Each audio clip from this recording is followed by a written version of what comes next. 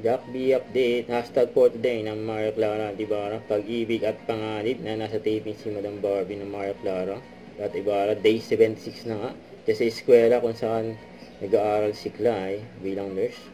And naka-uniforme din, kalat na sa social media, naka-uniforme si Fidel na nurse. Nakikita kaya sila ni Clay dyan. Tapos yung pa, iba pang mga behind the scene sa Maria Clara at Ibarra. Ayan, nakalagay, art depth. Si Lord na mag-decide kung saan ibabaon ang baon ni Simon. Ayan sila binibining Clay at Fidel. Sa taping yan. Tapos yung pa IG story ni Gideon San Jose.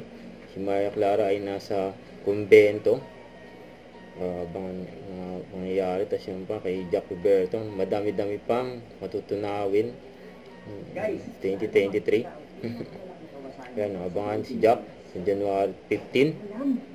Eto, Sinulog, saan mo meet and greet. ang pinaka-inganding race sa buong Pilipinas? Wala pa rin idea. Saan mo makikita ang pinakamasayang party at pinakamasayang celebration sa Pilipinas? Sinulog Festival, Cebu. Hindi mo pa rin alam. Lahat ng yan makikita sa Wintec Kawasaki Float sa Sinulog Festival. O ba? Sila. Yan o, abangan si Jack. Group of Companies and Kawasaki.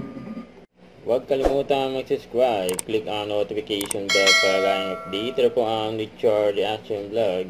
Bye guys, thank for watching.